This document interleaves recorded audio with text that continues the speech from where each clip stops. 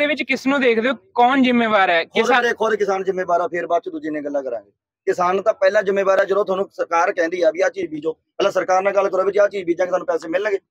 ਨਹੀਂ ਪਰ ਇਹ ਸਰਕਾਰ ਨੇ ਕਿਹਾ ਸੀ ਭਗਵੰਤ ਮਾਨ ਨੇ ਜਿਹੜੇ ਮੁੱਖ ਮੰਤਰੀ ਨੇ ਆਪਣੇ ਪੰਜਾਬ ਦੇ ਕਿ ਹਾਈਬ੍ਰਿਡ ਝੋਨਾ ਲਾਓ ਅਸੀਂ ਉਹ ਚੱਕਾਂਗੇ ਫੁੱਲ ਟੂ ਫੁੱਲ ਰੇਟ ਚੱਕਾਂਗੇ। ਭਗਵੰਤ ਮਾਨ ਦੇ ਘਰੇ ਜਾ ਕੇ ਦੇਣ ਨਾ ਵੀ ਧਰਨਾ ਦੂਜੇ ਬੰਦੇ ਨੂੰ ਕਿਉਂ ਤੰਗ ਕੀਤਾ? ਭਗਵੰਤ ਮਾਨ ਦੇ ਘਰੇ ਜਾ ਕੇ ਬੈਠਣ ਦੂਜੇ ਬੰਦੇ ਨੂੰ ਕਿਉਂ ਤੰਗ ਕਰ ਰਹੇ ਨੇ? ਭਗਵੰਤ ਮਾਨ ਜ਼ਿਆਦਾ ਆ ਕੇ ਸੁਣ ਰਿਹਾ ਭਗਵੰਤ ਮਾਨ ਇਸ ਟਾਈਮ ਆ ਕੇ ਇੱਥੇ ਹੈਗਾ। ਉਹਨੂੰ ਕੀ ਪਤਾ ਉਹ ਕਿੱਥੇ ਜਾ ਕਿਸੇ ਦੇ ਘਰੇ ਬੈਠਾ ਜਾਂ ਚਾਹ ਪੀ ਰਿਹਾ ਹੁਣ। ਪਰੇਸ਼ਾਨ ਕੌਣ ਹੈ? ਅਸੀਂ ਆ ਜਿਸ ਤਰ੍ਹਾਂ ਤੁਸੀਂ ਵੀ ਕਿਸਾਨ ਹੋ ਤੇ ਇੱਕ ਪਾਸੇ ਤੁਸੀਂ ਇਸ ਤਰ੍ਹਾਂ ਖੜੇ ਹੋ ਤੁਸੀਂ ਨਹੀਂ ਇਹਨਾਂ ਨਾਲ ਸਮਰਥਕ ਦੇਣ ਨੂੰ ਤਿਆਰ ਵੀ ਹੋ ਰਹੇ ਤੁਸੀਂ ਵੀ ਬੈਠ ਜਾਓ ਜਾ ਕੇ ਇਹਨਾਂ ਦਾ। ਸਮਰਥਨ ਦਿਆ ਜਾਂਦਾ ਵੀਰੇ ਕੋਈ ਹੱਦ ਹੁੰਦੀ ਹੈ। ਕਿਸੇ ਚੀਜ਼ ਦੀ ਹੱਦ ਹੁੰਦੀ ਹੈ ਵੀਰੇ। ਐ ਨਹੀਂ ਐ ਨਹੀਂ ਦਿੱਤਾ ਜਾਂਦਾ। ਹੁੰਦਾ। ਪਹਿਲੇ ਤੋਂ ਪੜ ਕੇ ਰਾਜਪੁਰਾ ਜਾਂਦਾ। ਸਵੇਰੇ ਮੈਂ ਕਾਲਜ ਜਾਂਦਾ ਸ਼ਾਮ ਨੂੰ ਮੇਰੇ ਜੋਬ ਹੁੰਦੀ ਹੈ ਟੋਟਲ ਚ। ਹੁਣ ਮੈਂ ਜੋਬ ਜੋਬ ਤੇ ਕਿਵੇਂ ਜਾਵਾਂ? ਇਹਨਾਂ ਕਰਕੇ ਪਹਿਲਾਂ ਵੀ ਮੈਂ ਇੱਥੇ ਅੜ ਗਿਆ ਸੀ। ਹੁਣ ਵੀ ਮੇਰੇ ਹੁਣ ਉਹ ਕਹਿੰਦਾ ਤੇਰੀ ਜੋਬ ਵੀ ਖਤਮ ਹੋ ਗਈ। ਹੁਣ ਉੱਥੇ ਵੀ ਉਹ ਲੇਡੀਜ਼ ਖੜੇ ਨੇ, ਉਹ ਵੀ ਟੰਗ ਹੋਏ ਵੀ ਇਹਨਾਂ ਕਰਕੇ। ਜਾਂ ਤਾਂ ਸਾਨੂੰ ਇਹ ਕਹਿਣਗੇ, ਅਸੀਂ ਵੀ ਤਿੰਨ ਨਾਲ ਬੈਠ ਜਾਂਦੇ ਹਾਂ, ਸਾਨੂੰ ਮੈਂ ਸਾਡੀ ਪੇ ਦੇ ਦੇਣ। ਸਾਨੂੰ ਜਿਹੜੀ ਮੇਰੀ ਉੱਥੇ ਸੈਲਰੀ ਮਿਲਦੀ ਹੈ ਮੈਨੂੰ ਇੱਥੇ ਬੈਠ ਕੇ ਦੇ ਦੇਣ। ਮੈਂ ਰੋਜ਼ ਇੱਥੇ ਆ ਕੇ ਬੈਠ ਜਾਵਾਂਗਾ ਜਾਂ ਤਾਂ ਇਹ ਸਲਾਹ ਬਣਾ ਦੇਣ ਫਿਰ। ਸੋ ਤੁਸੀਂ ਜੁੜੇ ਹੋ ਗ੍ਰੀਵੈਂਸ ਸਟੋਰੀ ਦੇ ਨਾਲ ਤੇ ਮੈਂ ਕੁਸ਼ਾਗਰ ਹੋ ਗਿਆ। ਗੱਲ ਕਰੀਏ, ਇਸ ਵੇਲੇ ਖੜੇ ਆ ਪਟਿਆਲਾ ਦੇ ਬਹਾਦਰਗੜ੍ਹ ਤੋਂ, ਜਦੋਂ ਰਾਜਪੁਰਾ ਵੱਲ ਨੂੰ ਜਾਂਦੇ ਆ ਉੱਥੇ ਕਿਸਾਨਾਂ ਵੱਲੋਂ ਜ਼ੋਰਦਾਰ ਧਰਨਾ ਪ੍ਰਦਰਸ਼ਨ ਕੀਤਾ ਜਾ ਰਿਹਾ ਉੱਥੇ ਹੀ ਜੇਕਰ ਗੱਲ ਕਰੀਏ, ਇਹਨਾਂ ਨਾਲ ਪੁੱਛ ਕੇ, ਇਹਨਾਂ ਨਾਲ ਗੱਲਬਾਤ ਕਰਦੇ ਆ ਕਿ ਕੀ ਪ੍ਰਮੁੱਖ ਕਾਰਨ ਨੇ ਇੱਥੇ ਧਰਨਾ ਲਾਉਣ ਦੇ ਉੱਥੇ ਹੀ ਜੇਕਰ ਤੁਹਾਨੂੰ ਤਸਵੀਰਾਂ ਦਿਖਾ ਦਈਏ ਸਕਰੀਨ ਤੇ ਤੁਸੀਂ ਤਸਵੀਰਾਂ ਦੇਖ ਪਾ ਰਹੇ ਹੋਵੋਗੇ ਕਿ ਕੀ ਹਾਲ ਹੋਇਆ ਪਿਆ, ਕਿਸ ਤਰ੍ਹਾਂ ਆਮ ਜਨਤਾ ਪਰੇਸ਼ਾਨ ਹੋ ਰਹੀ ਹੈ ਪਰ ਇਹਨਾਂ ਦੀਆਂ ਕੀ ਮੰਗਾਂ ਨੇ? ਕਹਿੰਦੇ ਅਨਾਜ ਨਹੀਂ ਚੱਕਿਆ ਯਾਰ, ਉਹ ਵੀ ਤੁਹਾਨੂੰ ਇੱਕ ਵਾਰ ਇਹਨਾਂ ਦੀ ਹੱਡਬੀਤੀ ਸੁਣਾਉਂਦੇ ਆ ਇਹਨਾਂ ਤੋਂ ਕੀ ਕੀ ਮੰਗਾਂ ਨੇ ਕਿਸਾਨਾਂ ਦੀਆਂ? ਕਿਉਂ ਇੰਨਾ ਜ਼ੋਰਦਾਰ ਧਰਨਾ ਪ੍ਰਦਰਸ਼ਨ ਕੀਤਾ ਜਾ ਰਿਹਾ? ਕਿਉਂਕਿ ਜਿਹੜੇ ਮੰਡੀਆਂ ਦੇ ਵਿੱਚ ਕਹਿ ਲਈਏ ਅਨਾਜ ਰੁਲ ਰਿਹਾ, ਉਹਦਾ ਕੀ ਪ੍ਰਮੁੱਖ ਕਾਰਨ ਹੈ? ਉਹਦੇ ਵਿੱਚ ਦੋਸ਼ੀ ਕੌਣ ਹੈ? ਇਹਦੇ ਵਿੱਚ ਆਮ ਜਨਤਾ ਕਿਉਂ ਸਫਰ ਕਰ ਰਹੀ ਹੈ? ਸੋ ਇਹਦੇ ਬਾਰੇ ਥੋੜੀ ਜਾਣਕਾਰੀ ਦਿਓ ਕਿ ਜਿਹੜੀ ਆਮ ਜਨਤਾ ਹੈ, ਉਹ ਇਹਦੇ ਵਿੱਚ ਕਿਉਂ ਸਫਰ ਕਰ ਰਹੀ ਹੈ? ਇਹਦੇ ਵਿੱਚ ਕੌਣ ਦੋਸ਼ੀ ਹੈ? ਸਰਕਾਰ ਹੈ, ਪ੍ਰਸ਼ਾਸਨ ਹੈ, ਜਾਂ ਕਹਿ ਲਈਏ ਕਿ ਅਧਿਕਾਰੀ ਨੇ? ਕੌਣ ਹੈ ਇਹਦੇ ਵਿੱਚ ਦੋਸ਼ੀ? ਸਰਦਾਰ ਜੰਗ ਸਿੰਘ ਸੂਬਾ ਪ੍ਰਧਾਨ ਭਾਰਤੀ ਕਿਸਾਨ ਏਕਤਾ ਭਟੇੜੀ ਕਲਾਂ ਇਹਦੇ ਵਿੱਚ ਸਰਕਾਰ ਜ਼ਿੰਮੇਵਾਰ ਹੈ ਜਿਹੜੀ ਮੌਕੇ ਤੇ ਜਿਹੜਾ ਸਾਡੇ ਨਾਲ ਸੀ ਆਹ ਕੁਝ ਹੋਇਆ ਮੇਰੀ 65 ਸਾਲ ਦੀ ਉਮਰ ਹੋ ਗਈ। ਅੱਜ ਤੱਕ ਝੋਨਾ ਨਹੀਂ ਰੁਲਿਆ ਹੈਗਾ ਮੰਡੀਆਂ ਦੇ ਵਿੱਚ। ਆਹ ਹਾਲ ਨਹੀਂ ਹੋਇਆ ਜਿਹਾ ਅੱਜ ਇੱਥੇ ਹੋ ਰਿਹਾ ਇਹ ਵੀ 75 ਸਾਲਾਂ ਦੇ ਵਿੱਚ ਪਹਿਲੀ ਵਾਰ ਹੋ ਰਿਹਾ ਹੈ। ਇਹ ਪਹਿਲੀ ਵਾਰ ਹੋ ਰਿਹਾ ਇਹ ਜਿਹੜੀ ਸਰਕਾਰ ਸੂਬਾ ਸਰਕਾਰ ਹੈ ਜਾਂ ਸੈਂਟਰ ਸਰਕਾਰ ਹੈ ਇਹਨਾਂ ਦੀਆਂ ਨੀਤੀਆਂ ਮਾੜੇ ਮਾੜੀਆਂ ਨੇ। ਤੇ ਲੋਕਾਂ ਨੂੰ ਹੈਰਾਨ ਕਰ ਰਹੇ ਆ ਅਵਾਨੀ ਡਾਨੀ ਨੂੰ ਤਾਂ ਕਹਿੰਦਾ ਵੀ ਦੇ ਦਈਏ ਸਾਰਾ ਕੁਝ ਤੇ ਕਿਸਾਨਾਂ ਨੂੰ ਰੋਕ ਦਈਏ। ਕਿਸਾਨ ਸੰਭੂ ਬਾਰਡਰ ਤੇ ਬੈਠੇ, ਖਨੌਰੀ ਬਾਰਡਰ ਤੇ ਬੈਠੇ ਨੇ, ਉਹ ਵੀ ਕਿਸਾਨ ਬੈਠੇ ਨੇ। ਤੇ ਧਰਨੇ ਥਾਂ ਥਾਂ ਸਾਨੂੰ ਕੋਈ ਚੌ ਨਹੀਂ ਹੈਗਾ ਧਰਨਾ ਲਾਉਣ ਦਾ ਸੜਕ ਤੇ ਵੀ ਅਸੀਂ ਲੋਕਾਂ ਨੂੰ ਹੈਰਾਨ ਕਰੀਏ। ਪਰ ਸਾਡੀ ਜੀਰੀ ਚੱਕਣੀ ਚਾਹੀਦੀ ਹੈ। ਜੇ ਸਾਡੀ ਜ਼ੀਰੀ ਚੱਕੀ ਜਾਵੇ, ਅਸੀਂ ਕਾਹਨੂੰ ਮਤਲਬ ਸੜਕਾਂ ਤੇ ਬੈਠੀਏ? ਅਸੀਂ 2 ਦਿਨ ਦਾ ਟਾਈਮ ਦਿੱਤਾ ਤਾਂ, ਪ੍ਰਸ਼ਾਸਨ ਨੂੰ ਵੀ ਅਸੀਂ 2 ਦਿਨ ਬਾਅਦ ਅਸੀਂ ਧਰਨਾ ਲਾਵਾਂਗੇ। ਪਰ ਸਰਕਾਰ ਨੇ ਸਾਡੀ ਸੁਣੀ ਨਹੀਂ ਹੈਗੀ ਕਦੇ ਤਹਿਸੀਲਦਾਰ ਆ ਜਾਂਦਾ ਕਦੇ ਐਸਡੀਐਮ ਆ ਜਾਂਦਾ ਕਦੇ ਅ, ਤੇਰਾ ਡੀਸੀ ਆ ਜਾਂਦਾ ਕਦੇ ਐਸਡੀਐਮ ਆ ਜਾਂਦੀ ਹੈ ਕਦੇ ਏਡੀਸੀ ਆ ਜਾਂਦੀ ਹੈ ਪਰ ਮਸਲਾ ਕੋਈ ਹੱਲ ਨਹੀਂ ਹੋ ਰਿਹਾ ਹੈਗਾ। ਦੁਖੀ ਹੋਇਆ ਸੀ ਉਰੇ ਆਏ ਆ ਸਾਨੂੰ ਕੋਈ ਚਾਅ ਨਹੀਂ ਹੈਗਾ ਵੀ ਇਹ ਜਨਤਾ ਨੂੰ ਹੈਰਾਨ ਕਰ ਸੋ ਹੁਣ ਉਰੇ ਕੋਈ ਪਹੁੰਚੇ ਕੋਈ ਪ੍ਰਸ਼ਾਸਨਿਕ ਅਧਿਕਾਰੀ ਜਿਹਦੇ ਨਾਲ ਗੱਲਬਾਤ ਹੋਈ ਹੋਏ ਤੁਹਾਡੀ? ਆਏ ਨੇ ਇੱਕ ਦੋ ਆਏ ਨੇ ਆ ਕੇ ਚੁੱਪ ਕਰਕੇ ਡਾਊਨ ਮੰਡੀ ਨੂੰ ਚਲੇ ਗਏ। ਸੋ ਤੁਸੀਂ ਕੀ ਕਹਿਣਾ ਚਾਹੋਗੇ? ਜਿਹਦੇ ਵਿੱਚ ਕਿਸ ਨੂੰ ਦੋਸ਼ ਦਿੱਤਾ ਜਾਏ? ਆੜਤੀਏ ਸ਼ੈਲਰ ਸਰਕਾਰ ਸੈਂਟਰ ਸਰਕਾਰ ਜਾਂ ਪੰਜਾਬ ਸਰਕਾਰ? ਦੇਖੋ ਸੈਂਟਰ ਦਾ ਤਾਂ ਬੜਾ ਵੱਡਾ ਦੋਸ਼ ਹੈ। ਕਿ ਉਹ ਜਿਹੜੀ ਪਹਿਲਾਂ ਚੌਲ ਨਹੀਂ ਚੱਕਿਆ ਸੈਂਟਰ ਨੇ ਨਹੀਂ ਚੱਕਿਆ। ਜੋ ਚੌਲ ਚੱਕ ਲੈਂਦੀ। ਇੱਧਰ ਨੂੰ ਜੋ ਚੌਲ ਚੱਕ ਲੈਂਦੀ ਨਾ ਤਾਂ ਸੇਲਰ ਵਾਲੇ ਨਾਲ ਰੌਲਾ ਪਾਉਂਦੇ ਪਰ ਹੁਣ ਸਾਡੇ ਨਾਲ ਸੇਲਰ ਵਾਲੇ ਕੀ ਕਰ ਰਹੇ ਨੇ? ਜੇ ਜੀਰੀ ਤੁਰ ਵੀ ਜਾਂਦੀ ਆ ਤਾਂ ਸੇਲਰ ਵਾਲਾ ਕਹਿੰਦਾ ਇਹਦੇ ਚਾਹ ਨੁਕਸ਼ਾ ਜੀ ਮੈਂ ਤਾਂ ਚੱਕਦਾ ਨਹੀਂ। ਤੇ ਕਿਸਾਨ ਨੇ ਪਾਇਆ ਜੇ ਉਹਦੇ ਪੁੱਤ ਕਾਲਾ ਜੰਮ ਪਏ ਤਾਂ ਉਹ ਸਿੱਟੇ ਆਊਗਾ ਜੇ ਸਾਡੇ ਕਾਲਾ ਦਾਣਾ ਹੋ ਗਿਆ ਤਾਂ ਕੁਦਰਤ ਦੀ ਦੇਣ ਹੈ ਨਾ। ਕਾਲਿਆਂ ਦੇ ਗੋਰੇ ਜੰਮਦੇ ਆਏ ਜੋ ਗੋਰਿਆਂ ਦੇ ਕਾਲੇ ਜੰਮਦੇ ਆਏ ਪਰ ਚੌਲ ਦਾ ਉਹਦਾ ਵਿੱਚੋਂ ਚਿੱਟਾ ਹੈ। ਬੰਦੇ 'ਚ ਵੀ ਖੂਨ ਤਾਂ ਲਾਲ ਨਿਕਲੂਗਾ ਚਾਹੇ ਤੁਸੀਂ ਗੋਰੇ ਦੇ ਟੱਕ ਮਾਰ ਲਓ ਚਾਹੇ ਕਾਲੇ ਦੇ ਮਾਰ ਲਓ। ਇਹੀ ਚੀਜ਼ ਜੀਰੀ ਆ ਜੀਰੀ ਦੇ ਵਿੱਚ ਕ- ਚਿੱਟਾ ਚੌਲਾ ਜੇ ਕਾਲਾ ਚੌਲਾ ਵਿੱਚ ਚੱਕਣਾ ਚੱਕਣ। ਸੋ ਇੱਕ ਜਿਹੜਾ ਭਗਵੰਤ ਮਾਨ ਸਰਕਾਰ ਵੱਲੋਂ ਕਿਹਾ ਗਿਆ ਸੀ ਕਿ ਹਾਈਬ੍ਰਿਡ ਝੋਨਾ ਲਗਾਓ ਤਾਂ ਅਸੀਂ ਉਹ ਚੱਕਾਂਗੇ ਉਹਨਾਂ ਦੇ ਪੂਰੇ ਮੁੱਲ ਦੇਵਾਂਗੇ। ਉਹਦੇ ਵਿੱਚ ਹੁਣ ਕਿਸ ਤਰ੍ਹਾਂ ਦੇਖ ਰਹੇ ਹੋ? ਇਹ ਪਤਾ ਕੀ ਆ ਜੀ ਇਹ ਝੋਨਾ ਪਹਿਲਾਂ ਵੀ ਲੱਗ ਰਿਹਾ ਤਾਂ ਠੀਕ ਹੈ ਭਗਵੰਤ ਮਾਨ ਨੇ ਲਵਾਤਾ, ਕਹਿ ਕੇ ਵੀ ਸਾਡਾ ਪਾਣੀ ਬਚਦਾ ਪਰ ਇਹ ਸਾਰੀ ਸਿਆਸਤ ਹੈ, ਕੋਈ ਇਹਦਾ ਚੌਲ ਘੱਟ ਨਹੀਂ ਨਿਕਲਦਾ। ਪਹਿਲਾਂ ਪੂਛਾ ਵੇਲੇ ਵੀ ਇੱਕ ਵਾਰੀ ਰੌਲਾ ਪਿਆ ਤਾਂ, ਪਰ ਆਹ ਹਾਲ ਨਹੀਂ ਹੋਇਆ ਤਾਂ ਵੀ ਚੱਕੀਓ ਨਹੀਂ ਸੇਲਰ ਵਾਲਿਆਂ ਨੇ ਗਵਰਨਮੈਂਟ ਕਹਿੰਦੇ ਰੌਲਾ ਪਾ ਲਿਆ ਤਾਂ ਗਵਰਨਮੈਂਟ ਨੇ ਉਹਨਾਂ ਨੂੰ ਦੇਤਾ ਤਾਂ ਜੋ ਕੁਝ ਦੇਣਾ ਤਾਂ। ਪਰ ਐਤਕੀ ਕੀ ਹੋ ਰਿਹਾ ਮਤਲਬ ਸਾਰੇ ਆਵੇਂ ਕਿਸਾਨ ਨੂੰ ਮਾਰਿਆ ਜਾ ਰਿਹਾ ਹੈ। ਉੱਪਰੋਂ ਸੈਂਟਰ ਦੀ ਤਾਂ ਨੀਤੀ ਮਾੜੀ ਥੀ, ਪਰ ਇਹ ਸਰਕਾਰ ਦੀ ਵੀ ਨੀਤੀ ਮਾੜੀ ਹੈ। ਸੋ ਇਹਦੇ ਵਿੱਚ ਇੱਕ ਜਾਣਕਾਰੀ ਦਿਓ ਕਿ ਜੋ ਹੁਣ ਆਉਣ ਵਾਲਾ ਟਾਈਮ ਹੋਵੇਗਾ, ਉਹਦੇ ਵਿੱਚ ਕੀ ਹੋਵੇਗਾ? ਜੇ ਇਸੇ ਤਰ੍ਹਾਂ ਕਿਸਾਨ ਰੁਲਦਾ ਰਹੇਗਾ, ਕਿ ਆਮ ਜਨਤਾ ਵੀ ਇਸੇ ਤਰ੍ਹਾਂ ਰੁਲਣਾ ਪਏਗਾ, ਇਹਦੇ ਵਿੱਚ ਸਰਕਾਰ ਨੂੰ ਹੀ ਦੋਸ਼ ਦੇਈ ਗਈ ਹੈ। ਦੇਖੋ ਜੀ, ਮੇਰੀ ਗੱਲ ਸੁਣੋ। ਜੇ ਚਾਰ ਛਪੇਰੇ ਤੋਂ ਸਾਨੂੰ ਘੂਰ ਲਿ- ਘੇਰ ਲਿਆ ਇਹਨਾਂ ਨੇ, ਸਾਡੇ ਨਾਲ ਅਸਲ ਕੀ ਹੋਇਆ? ਕਾਲੀ ਕਾਂਗਰਸੀ, ਇਹਨਾਂ ਨੇ ਸਾਨੂੰ ਮਤਲਬ ਕੁੱਟਿਆ ਮਾਰੀ, ਅਸੀਂ ਉਹ ਜਿਵੇਂ ਗਾਂ ਦੇ ਮਗਰ ਕੁੱਤੇ ਪੈ ਗਏ। ਗਾਂ ਨੇ ਸੋਚਿਆ ਵੀ ਮੈਂ ਮਤਲਬ ਤੇ ਬੰਦੇ ਖੜੇ ਨੇ, ਬੰਦਿਆਂ ਨੂੰ ਜਾ ਬਣਾ, ਮੇਰੀ ਜਾਨ ਛਡਾ ਦੇਣਗੇ। ਪਰ ਉਹ ਬੁੱਚੜ ਤੇ ਉਹਨਾਂ ਨੇ ਵੱਢ ਲਏ ਇਹੀ ਕਾਰਨ ਇਹ ਸਰਕਾਰ ਦਾ ਹੋਇਆ ਹੈ। ਇਹਨਾਂ ਨੇ ਸਾਨੂੰ ਉਦੋਂ ਵੀ ਜ਼ਿਆਦਾ ਮਤਲਬ ਤੰਗ ਕਰਿਆ। ਇਹ ਮਤਲਬ ਏਡੀ ਵਧੀਆ ਸਰਕਾਰ ਨਹੀਂ ਇਹ ਵੀ ਹੈ। ਇਹ ਜੇ ਸਰਕਾਰ ਵਧੀਆ ਹੁੰਦੀ ਕੋਈ ਪ੍ਰਬੰਧ ਕਰਦੀ ਕੁਛ ਕਰਦੀ ਚੱਕਦੀ ਗੈਲੋਂ ਝਗੜਦੀ ਰਹਿੰਦੀ ਕਹਾ? ਇੱਕ ਜਿਹੜਾ ਹੋਰ ਰਵਨੀਤ ਬਿੱਟੂ ਵੱਲੋਂ ਇਲਜ਼ਾਮ ਲਗਾਏ ਜਾ ਰਹੇ ਨੇ ਕਿ ਜਿਹੜੇ ਕਹਿ ਲਈਏ ਕਿ ਕਿਸਾਨ ਆਗੂ ਨੇ ਉਹੀ ਤੰਗ ਪਰੇਸ਼ਾਨ ਕਰਦੇ ਨੇ ਆਮ ਕਿਸਾਨ ਨਹੀਂ ਤੰਗ ਕਰਦਾ ਇਹਦੇ ਬਾਰੇ ਕੀ ਤੁਸੀਂ ਕਹੋਗੇ ਦੇਖ ਲਓ ਵੀ ਇਹ ਇਹ ਉਹ ਨੇ ਇਹ ਵੀ ਆਮ ਬੰਦੇ ਬੈਠੇ ਨੇ। ਬਾਬਾ ਜੀ ਗੱਲ ਦੱਸੋ। ਅਸੀਂ ਨਹੀਂ ਇਹਨਾਂ ਨੂੰ ਭੜਕਾਉਂਦੇ। ਇਹ ਸਾਨੂੰ ਪ- ਪ੍ਰਧਾਨ ਕੌਣ ਚੁਣਦਾ ਹੈ? ਬਿੱਟੂ ਜੀ- ਬਿੱਟੂ ਦੇ ਦਾਦੇ ਨੂੰ ਲੋਕਾਂ ਨੇ ਚੁਣਤਾ, ਬਿੱਟੂ ਦਾ ਦਾਦਾ ਐਵੇਂ ਪਤਾ ਵੀ ਕਿੱਡਾ ਕਾਤਲੀ ਹੈ। ਲੈਣ ਹਿਸਾਬ ਬਿੱਟੂ ਕੇ। ਬੰਦੇ ਮਾਰਿਆਂ ਦਾ ਵੀ ਲੈਣ, ਬਾਕੀ ਜਾਇਦਾਦਾਂ ਦਾ ਵੀ ਲੈਣ। ਜਦ ਬਿੱਟੂ ਦਾ ਬਾਪ ਸਰਪੰਚ ਦਾ, ਜਦ ਤੋਂ ਲੈ ਕੇ ਹਿਸਾਬ ਲੈ ਲੈਣ ਵੀ ਬਿੱਟੂ ਦਾ ਦਾਦਾ, ਜਦ ਤੋਂ ਸਰਪੰਚ ਦਾ।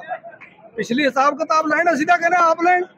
ਜਿਹੜੀਆਂ ਸਮਝਾ ਸਾਡੀਆਂ ਜਾਇਦਾਦਾਂ ਇਹ ਚੀਜ਼ਾਂ 'ਚ ਵਿਕੀਆਂ ਨੇ, ਲੋਕਾਂ ਦੀ ਵੇਰ ਕਰਦੇ, ਉਹ ਸਾਨੂੰ ਦੇਣ।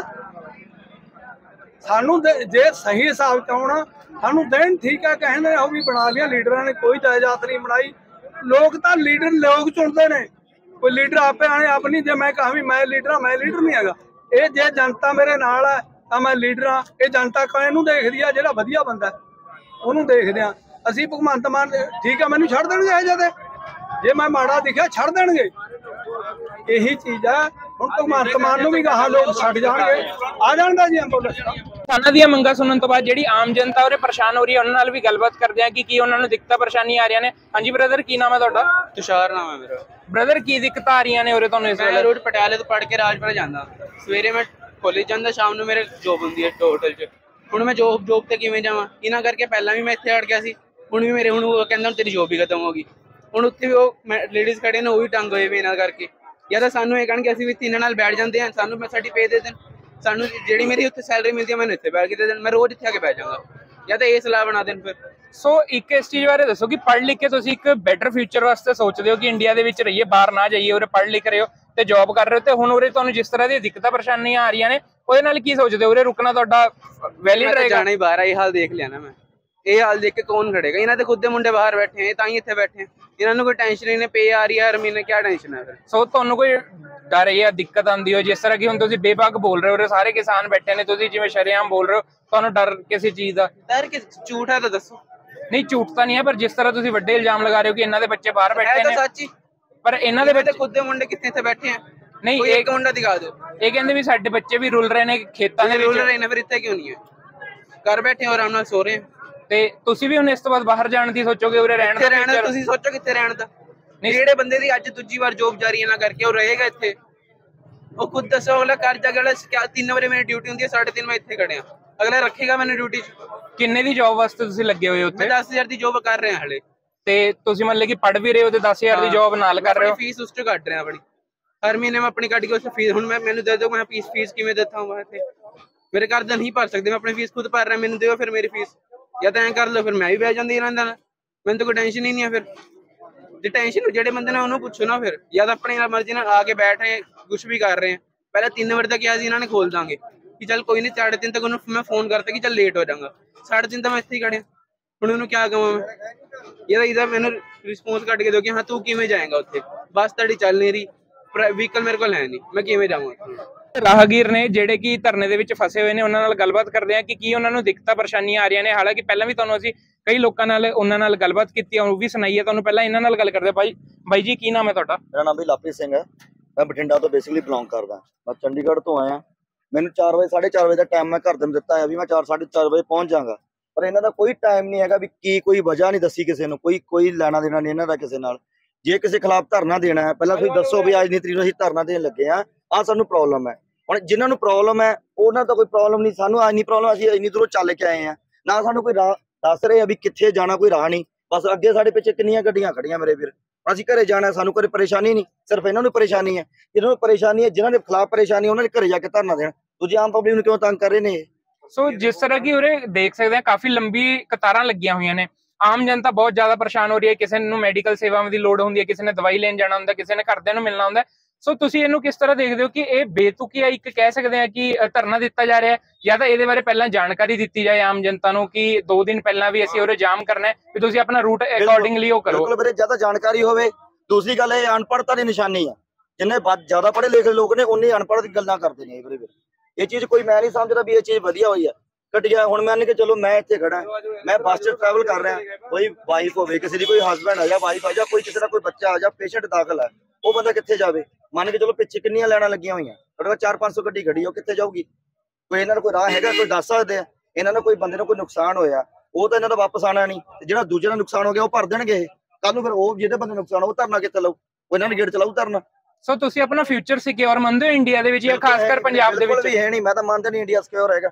ਮੈਂ ਤਾਂ ਖੁਦ ਕਹਿ ਰਿਹਾ ਮੈਂ ਖੁਦ ਨਹੀਂ ਇੰਡੀਆ ਰਹਿੰਦਾ 15 30 ਦੀ ਮੇਰੀ ਫਲੈਟ ਹੈ ਮੈਂ ਬੱਸਾਂ 'ਚ ਧੱਕੇ ਖਾਂਦਾ ਫਿਰਦਾ।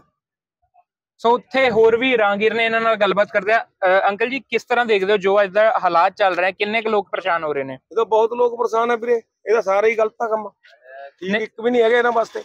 ਨਹੀਂ ਜਿਸ ਤਰ੍ਹਾਂ ਕਿ ਉਰੇ ਕਾਫੀ ਸੜਕਾਂ ਤੇ ਜਾਮ ਲੱਗਿਆ ਹੋਇਆ ਤੇ ਇਹ ਕਿਸੇ ਦੀ ਵੀ ਸੁਣਨ ਨੂੰ ਤਿਆਰ ਨਹੀਂ ਹੈ। ਇਹਨੂੰ ਕਿਸ ਤਰ੍ਹਾਂ ਕਹੋਗੇ? ਇਹਨਾਂ ਨੂੰ ਤੁਸੀਂ ਗੱਲਬਾਤ ਕਰਨ ਦੀ ਕੋਸ਼ਿਸ਼ ਕੀਤੀ?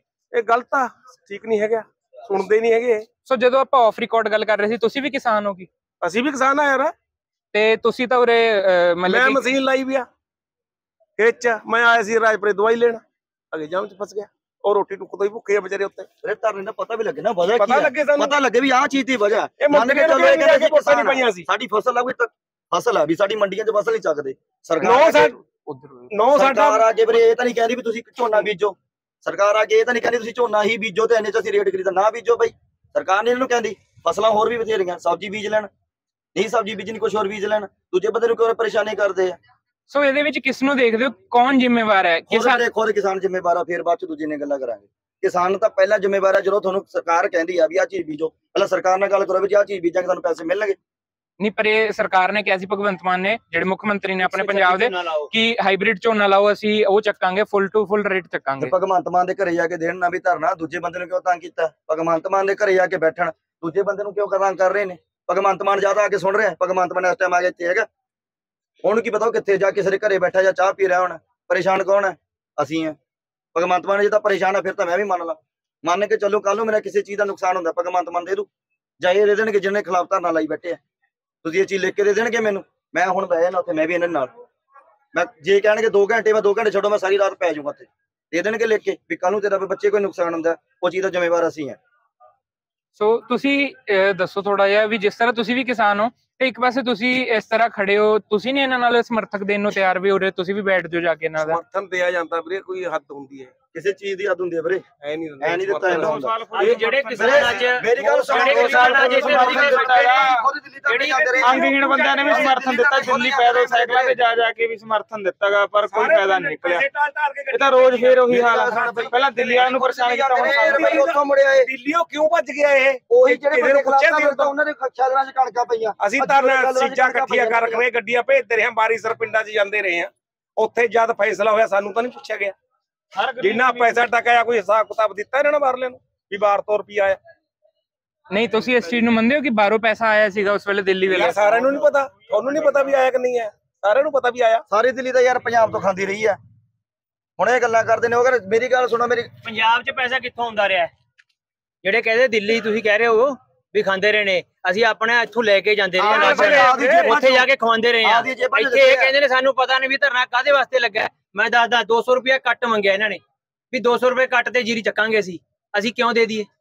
6 ਮਹੀਨੇ ਹੋ ਗਏ ਸਾਨੂੰ ਪਾਲਦੇ ਸਾਂ ਐਵੇਂ ਦੇ ਦਾਂਗੇ। ਨਹੀਂ ਪਰ ਇੱਕ ਸਵਾਲ ਜਾਇਜ਼ ਹੈ ਕਿ ਨਹੀਂ ਕਿਹਾ ਜਾ ਰਿਹਾ ਕਿ ਭਗਵੰਤ ਮਾਨ ਦਾ ਘਰ ਘੇਰੋ ਉੱਥੇ ਕਿਉਂ ਨਹੀਂ? ਉੱਥੇ ਗਏ ਸੀ ਉਹਨਾਂ ਨੇ ਨਹੀਂ ਲਾਠੀ ਚਾਰਜ ਕਰਦੇ ਨਹੀਂ ਫਿਰ ਅਸੀਂ ਇੱਥੇ ਬੈਠੇ ਹਾਂ ਉਹਨਾਂ ਦੇ ਲਾਠੀ ਚਾਰਜ ਨਹੀਂ ਇੱਥੇ ਨਹੀਂ ਨਹੀਂ ਪਰੇਸ਼ਾਨ ਕਰ ਰਹੇ ਉਰੇ ਫਿਰ ਆਮ ਜਨਤਾ ਦਾ ਇਹ ਫਾਇਦਾ ਚੱਕਿਆ ਜਾ ਰਿਹਾ। ਨਹੀਂ ਫਾਇਦਾ ਅਸੀਂ ਜਿਹੜਾ ਇੱਕ ਅਸੀਂ ਮਿੰਟ ਵੀਰੇ 10-10 ਦਿਨ ਤੋਂ ਮੇਰੀ ਬੈਠੇ ਆ। ਗੱਲ ਸੁਣ ਬਈ। ਇਹ 2 ਘੰਟੇ ਹੀ ਪਰੇਸ਼ਾਨ ਹੋਏ ਮੇਰੀ ਗੱਲ ਸੁਣ ਬਈ ਹੱਲ ਹੋ ਜੂ। ਨਹੀਂ, ਹੁੰਦਾ। ਖੜੇ ਆ ਤੇ ਖੜੇ ਰਵਾਂਗੇ। ਖੜੇ ਕੋਈ ਅਫਸਰ ਨਹੀਂ ਹੁੰਦਾ ਤੇ ਅਸੀਂ ਰਵਾਂਗੇ। ਅਫਸਰ ਤਾਂ ਖੜੇ ਨੇ ਬਈ। ਅਫਸਰ ਤਾਂ ਵਰਦੀ 'ਚ ਹੀ ਖੜੇ ਨੇ ਫਿਰ ਉਹਨਾਂ ਨਾਲ ਗੱਲ ਕਰੋ ਜਾ ਕੇ। ਅਸੀਂ ਕਿਉਂ ਗੱਲ ਕਰੀ ਗੱਲ ਤੁਹਾਡੀ ਪਰੇਸ਼ਾਨੀ ਤੁਸੀਂ ਦੱਸੋ। ਅਸੀਂ ਖੜੇ ਆ ਭਾਈ ਮੇਰੇ ਸ਼ਹਿਰ ਦੀ ਪਰੇਸ਼ਾਨੀ ਹੋਗੀ ਨਾ ਮੇਰੇ ਘਰ ਦੀ ਪਰੇਸ਼ਾਨੀ ਹੋਗੀ ਮੈਂ ਨਹੀਂ ਨਹੀਂ ਇੱਕ ਮਿੰਟ- ਇੱਕ ਮਿੰਟ ਇੱਕ ਮਿੰਟ ਇਸ ਚੀਜ਼ ਨੂੰ ਸਮਝਣ ਦੀ ਕੋਸ਼ਿਸ਼ ਕਰਨਾ। ਅਸੀਂ ਵੀ ਤੁਹਾਡੇ ਇਹ ਐਡੇ ਐਡੇ ਬਜ਼ੁਰਗ ਖੜੇ ਨੇ। ਇਹਨਾਂ ਇਹ ਵੀ ਕਹਿੰਦੇ ਕਿਸਾਨ ਨੇ ਇਹ ਵੀ ਇਹ ਵੀ ਕਹਿੰਦੇ ਅਸੀਂ ਕਹਿ ਲਈ ਮਸ਼ੀਨ ਲਗਾਈ ਹੋਈ ਹੈ ਤੇ ਇਹ ਤੇ ਧਰਨੇ ਦਾ ਸਮਰਥਨ ਨਹੀਂ ਕਰ ਰਹੇ ਇਹ ਕਹਿੰਦੇ ਅਸੀਂ ਪਰੇਸ਼ਾਨ ਹੋ ਰਹੇ ਅਸੀਂ ਦਵਾਈ ਲੈਣ ਆਇਆ ਜਿਹਦੇ ਤੇ ਪੈਂਦੀ ਹੈ ਨਾ ਉਹੀ ਕਰਦਾ ਹੁੰਦਾ ਹੈ। ਜੇ ਇਹਨਾਂ ਦਾ ਕੰਮ ਨਿਬੜ ਗਿਆ ਨਾ ਇਹ ਆਪਣੇ ਘਰੇ ਬੈਠੇ ਨੇ ਮਸ਼ੀਨ ਚੱਲ ਇਹ ਰਹੀ ਹੁਣੇ ਗੱਲ ਮਸ਼ੀਨ ਚੱਲ ਰਹੀ ਹੈ ਫਿਰ ਖੜੋ ਜ਼ਿਮੀਦਾਰਾਂ ਦੇ ਨਾਲ। ਖੜੇ ਦੇ ਹੱਲ ਬਣ ਜੂ ਸਾਡਾ।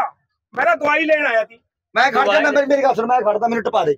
2 ਘੰਟੇ ਖੜਦਾ ਮੈਂ। ਜੇ ਖੜੇ ਨੇ, ਜਦੋਂ ਹੱਲ ਹੋਊਗਾ ਤੇ ਸਾਰੇ ਸਾਰੇ ਗੱਲ ਜਾਣਗੇ ਤਾਂ ਹੋਈ ਆ ਹੱਲ ਕਦੋਂ ਹੋਊਗਾ ਉਹ ਟਾਈਮ ਦੱਸੋ ਨਾ। ਉਹਨਾਂ ਨਾਲ ਗੱਲ ਕਰੋ ਅਸੀਂ ਤਾਂ ਕਿਹਨੇ ਗੱਲ ਕਰੀ ਹੈ? ਤੁਸੀਂ ਕਹਿ ਰਹੇ ਹੋ ਭਗਵੰਤ ਮਾਨ ਕੋਲੇ ਗਏ ਸੀ। ਡੰਡੇ ਤੋਂ ਡਰਦੇ ਮਰ ਵਿਚਾਰੇ ਪਿੰਡ 'ਚ ਧਰਨਾ ਲਾਇਆ। ਦੂਜੇ ਬੰਦੇ ਨਹੀਂ ਡਰਦੇ ਆਵੇ ਡੀਸੀ ਆਵੇ। ਸਾਡੇ ਨਾਲ ਗੱਲ ਕਰੇ ਵੀ ਅਸੀਂ ਤੁਹਾਡਾ ਝੋਨਾ ਚੱਕ ਬਈ ਰਹੇ ਹਾਂ। ਡੀਸੀ ਕੋਲੇ ਤੁਸੀਂ ਜਾਓ ਯਾਰ ਅਸੀਂ ਥੋੜੀ ਜਾਣਾ।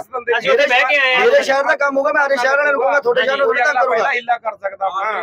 ਬਈ ਮੈਂ ਮੇਰੇ ਸ਼ਹਿਰ ਦਾ ਕੰਮ ਹੈ ਨਾ ਜੇ ਮੈਂ ਬਠਿੰਡੇ ਚਲੂੰਗਾ ਮੈਂ ਆਪੇ ਕੰਮ ਕਰਨਾ ਇੱਕ ਮੈਂ ਕਿਹਾ ਅਸੀਂ ਝੋਨਾ ਚੱਕਾਂਗੇ। ਕਿਉਂਕਿ ਬਾਅਦ ਤੁਸੀਂ ਜਾ ਕੇ ਅਸੀਂ ਆਪਣੇ ਤੇਰਾ ਸ਼ਹਿਰ ਕਿਹੜਾ?